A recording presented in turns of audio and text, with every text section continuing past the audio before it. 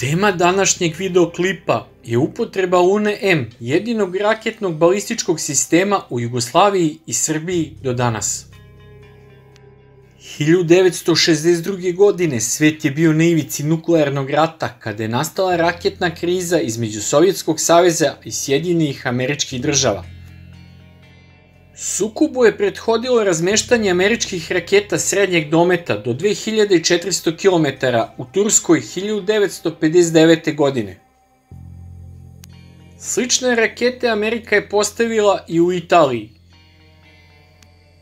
Odgovor na njihovo postavljanje je bio kada je 1962. godine SSSR instalirao nuklearne rakete na Kubi, što su Sjedinje američke države proglasile za pretnju svoje bezbednosti i povredu interesne sfere. Tada su na Kubi instalirane sovjetske rakete sa nuklearnim glavama, od kojih je šest bilo raketa Luna sa 70 nuklearnih bojevih glava, koje su trebali da dejstvuju po američkim desantnim snagama koje su trebale da izvrši invaziju na Kubu. Tada se svetska javnost upoznala sa ovim balističkim raketama kratkog dometa, koje su mogle da nose i nuklearnu glavu. Inače, 9K-52 Luna M je sovjetski artiljerijski sistem kratkog dometa do 70 km. Koristi nevođenu raketu 9M21, koja se rotiranjem stabilizuje prilikom leta, Prema ruskoj klasifikaciji nosi oznaku 9K52, a prema NATO klasifikaciji oznaka je Frog 7, što je akronim oznaka Free Rocket Overground. Nakon invazije Sovjetskog saveza 1968. godine na Češku, državni vrh Socialističke federativne republike Jugoslavije je proveo analizu oružanih sistema Jugoslovenske narodne armije kodnog naziva Drvar, koja je pokazala da JNA nije adekvatno osposobljena i opremljena da odvrati potencijalnog agresora. Tito i armijski vrh su ozbiljno razmatrali ograničenu upotrebu atomskog oružja isključivo u odvraćanju potencijalnog agresora ili u zaustavljanju masovnih prodora neprijatelja na taktički nivo. U tu svrhu je u Jugoslaviji razvijena tehnologija rudarskog iskopavanja radioaktivnih materijala, a do početka 70. godina ovom metodom je u Jugoslaviji iz rudnika urana akumulirano 900 kg ove rude. Prema tome, Jugoslavija sa svojim mini reaktorima u Naučnom institutu Vinča i vlastitom eksploatacijom urana, kao i osvojenom tehnologijom obogaćivanja urana, bila u mogućnosti proizvesti dovoljne količine nuklearnog goriva za manji broj atomskih bombi. Kao deo nuklearnog programa Jugoslavije je 60. godina prošlog veka iz Sovjetskog saveza nabavljen balistički raketni sistem Luna M ili Frog 7 zbog mogućnosti nošenja taktičkih nuklearnih bojevih glava.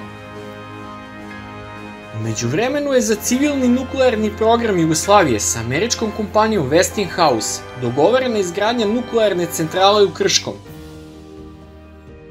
Nakon Titove smrti, armijski vrh je pod plaštom rada nuklearne elektrane u Krškom nastavio istraživanja na polju atomskog oružja u procesu obogaćivanja urana.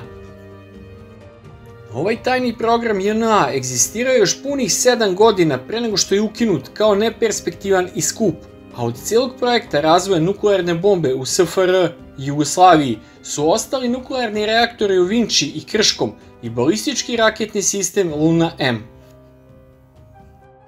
A onda su došle 90. i krvavi raspad nama nekada zajedničke države, u kome je balistički raketni sistem Luna M dobio i svoje vatrno krštenje u bivšoj SFRJ. Jugoslovenska narodna armija je posjedula 10 lansera balističkog sistema Luna M, a više njih je korišćeno u sukubu srpskih i hrvatskih snaga u Hrvatskoj i Bosni i Hercegovini. Tokom rata u Hrvatskoj, ovaj sistem je uspešno korišćen od strane snaga Republike Srpske krajine radi odvraćanja hrvatske agresije, pa su gađana mesta od strateškog značaja kao što je Županja. Gađan je i Zagreb 12. decembra 1992. godine prilikom povlačenja snaga JNA i školskog centra veze, ali su rakete pale u blizini mesta Brezovica, 30 km od Zagreba. Drugi put je Zagreb građan 11. septembra 1993. godine tokom bitke za Medački džep kao sredstvo odmazde, ali su tri rakete sistema Luna M pale u mestu Leklenik koje je udaljeno 40 km od Zagreba i pritom su dve rakete pale u njive, a treća je skinula krov jedne kuće i napravila veliki krater pored nje.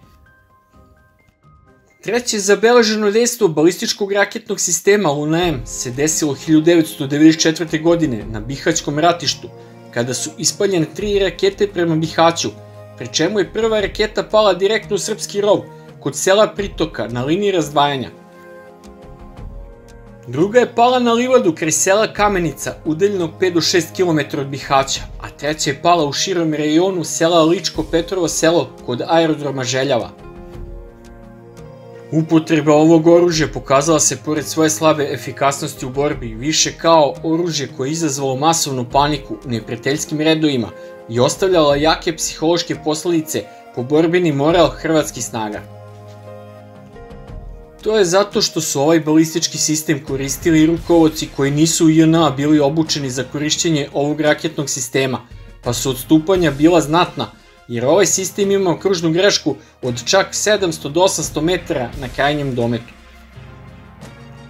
Drugi problem predstavlja neodgovarajuća taktička upotreba ovog sistema, jer je efikasan domet ovog balističkog raketnog sistema do 40 km, a sve preko te daljine potreban je ceo divizion od šest lansera sistema Luna M da bi se pogodio jedan tačkasti cilj. Povlačenjem balističkog raketnog sistema Luna iz aktivne službe je nastalo kada su njenu ulogu, dejstvo po tačkastim ciljima na frontu, kao što su komunikacioni centri, komadna mesta pri frontu u bližoj neprijateljskoj pozadini, ubrzo preuzeli samohodni višecevni lanseri i raketa. U vreme pojave Luna balističkog sistema nisu postojali višecevni lanseri i raketa dometa preko 20 km, kraj karijere u aktivnom sastavu jedinica kopnene vojske sistema Luna M se uočio pojavom samohodnog višecenog i raketa BM-27 Uragan, koji je potpuno preuzeo ulogu raketnog sistema Luna i pre dolaska točke kao njenog direktnog naslednika. U Srbiji balistički raketni sistem Luna M je zamenio samohodni višecini lanser raketa Orkan 2 sa raketama izvornog Orkan VBR sistema kalibra 262 mm i dometa do 50 km. Pošto višecevni raketni sistemi Tamnava i Šumadija nisu do danas uvedeni u narožanje kopnene vojske Srbije i neizvesno je kada bi to moglo da se desi, koji bi onda po vašem mišljenju balistički sistem mogao da zameni balistički raketni sistem Luna M u arsenalu srpske vojske?